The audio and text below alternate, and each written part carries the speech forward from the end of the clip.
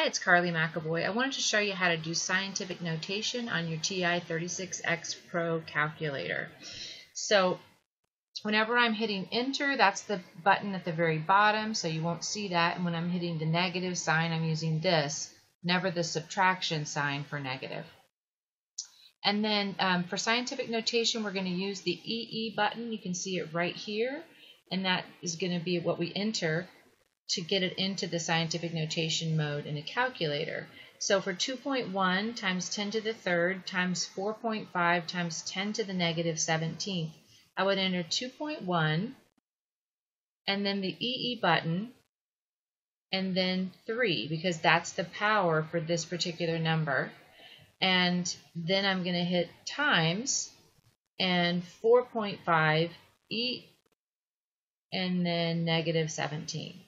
So notice that when I put it into the calculator, it doesn't look like this. It looks like this. And this looks like 4.5e negative 17. That's how it looks in the calculator, but the calculator is reading it as we know our problem.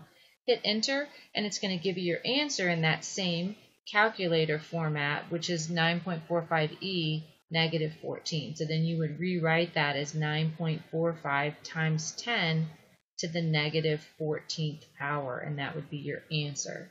Okay, in this one right here where we have a division, you have a couple of choices. You could just type this number in, then hit divided by, and then type that one in, and that will work.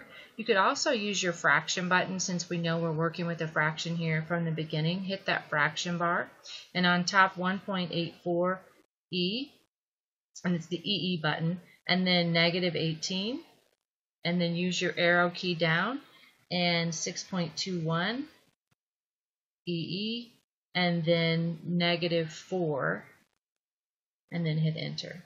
Now this one we have a really long answer. We're going to round it to the same number of significant digits we had in our problem. So I'll have 2.96 e to the negative 15th or e negative 15 which means as we know 2.96 times 10 to the negative 15th power.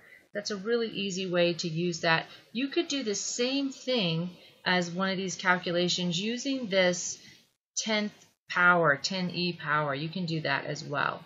So if I had the first problem, if I did 2.1 and then I'd hit this button twice, that is the button where you have e to the power and then 10 to the power, hit that twice to get to the 10 and then say third power.